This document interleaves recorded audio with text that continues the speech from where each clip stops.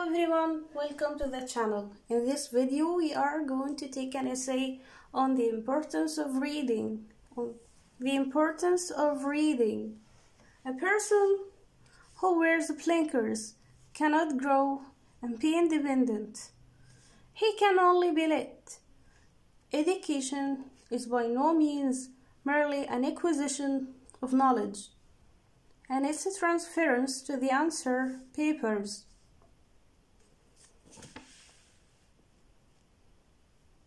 It's a process of growth and of the development of one's personalities.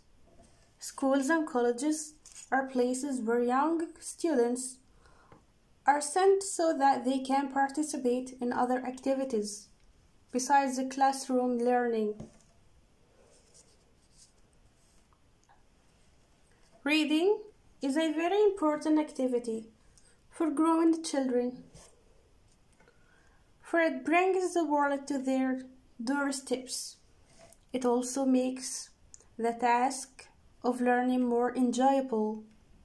Children like to see pictures, for pictorial representation makes the, the whole story vivid and interesting.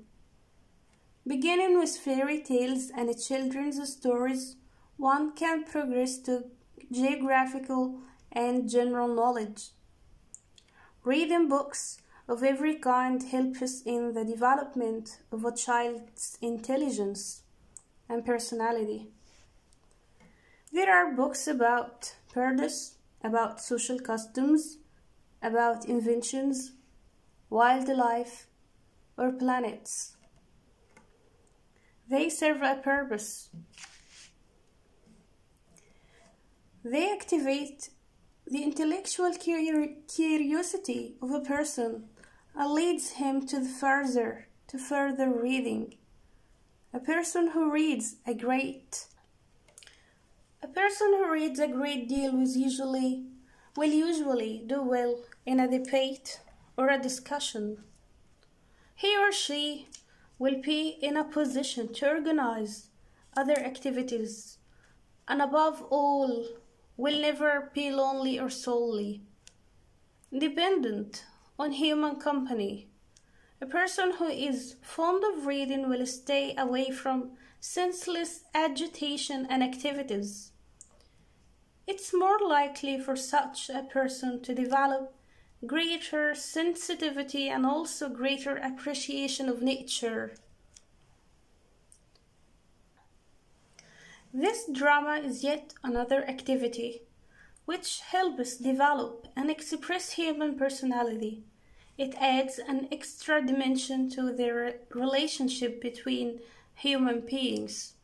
Men and women who are normally shy and introvert may emerge as entirely different beings on the stage. Drama gives them an opportunity to shed camouflage their inner beings and for a short while acquire a brand new extrovert extrovert personality.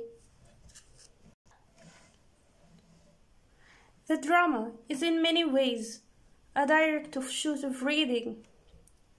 Those who read a great deal possess active imaginations and may indulge in a lot of play acting in the privacy of their study. Moreover, being always on the lookout for good plays and good roles, roles they, may they may read a lot. There is another aspect to drama. It develops confidence, and a younger child can get rid of the initial stage shyness more easily than an adult. An appearance on the stage also gives the child a sense of importance. Applause brings him recognition, a role confers an identity. More than this, appearance on the stage also helps them to relate to others. In some ways, it's an effective check on inflated ego.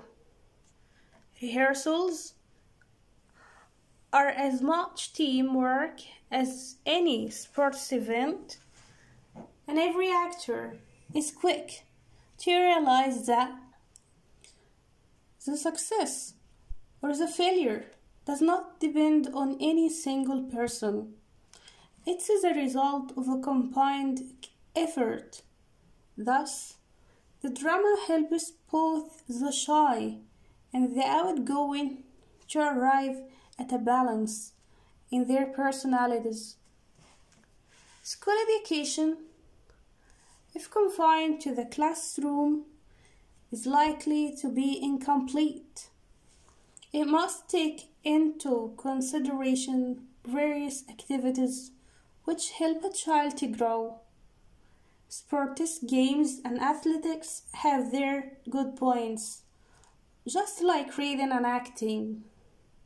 So today's essay was on the importance of reading and how it can develop a child personality and how it can affect the personality of a shy child how to make how to um, how to change his personality to move from being introvert to being extrovert and how to face the world talking acting on the stage through drama and theater.